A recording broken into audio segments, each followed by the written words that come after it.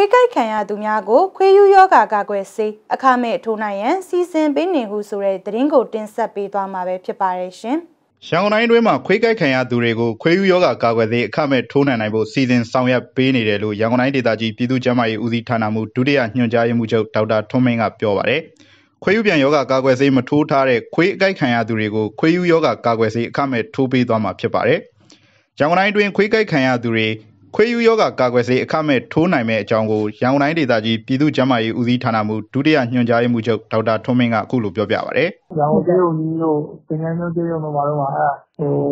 ခွေးကကြတဲ့လူတွေလာတယ်။ကျတော့အဲဟိုကျဲတာဒေါပိုက်ကျန်လာလို့မဟုတ်ဘူးလေဟဲ့ဒီပြည်ုံတော်တော်များများမှာတော့နော်ဒီ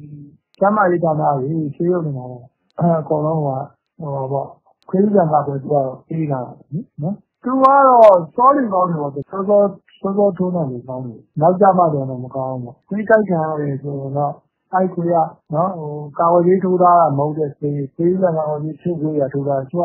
မထိုးတာမထိုးတာတဲ့ခွေးပါစောင်းနေဆိုတော့နော်အနည်းဆုံး ကျမ်းမာရေးဌာနကို သွားပြနော်သူကနေခွေးကြံကာဝေး ထိုးပြီးတော့လည်းဆေးရုံကို သူ့ဒီမှာရှိရင်ထိုးပြီးမယ် မရှိရင်ပြခွေးကြံကာဝေး ထိုးပြီးဖို့နော်ဆေးပေးထားတဲ့ ဆေးရုံကိုဘန်းညွန်ပြီးနော် ခွေးကိုက်ခံရသူတွေအနေနဲ့အနည်းဆက်ဆုံးကျန်းမာရေးဌာနကိုသွားပြရမှာဖြစ်ပြီးအဲ့ဒီဌာနမှာကာကွယ်ဆေးရှိပါကထိုးပေးမှာဖြစ်ပြီးမရှိပါက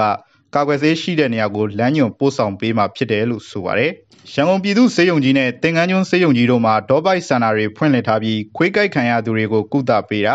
ခွေးယူယောဂကာကွယ်ဆေးတွေအခမဲ့ထိုးပေးနေတယ်လို့ဒေါက်တာထွန်းမင်းကပြောပါတယ်။ပြင်ပမှာကိုယ်အစီအစဉ်နဲ့ခွေးယူယောဂကာကွယ်ဆေးထိုးနှံမှာကကြက်တောင်းကနန်းကုန်ကြမှာဖြစ်ပါတယ်။ ကျန်းမာရေးဝန်ကြီးဌာနအနေနဲ့တော့အခမဲ့ထိုးပေးသွားမှာဖြစ်ပြီးသက်ဆိုင်ရာဆေးရုံတွေမှာခွေးယူယောဂါကာကွယ်ဆေးတွေဖြန့်ဝေပေးအပ်ထားပြီးဖြစ်တယ်လို့သိရပါတယ်ခင်ဗျာ။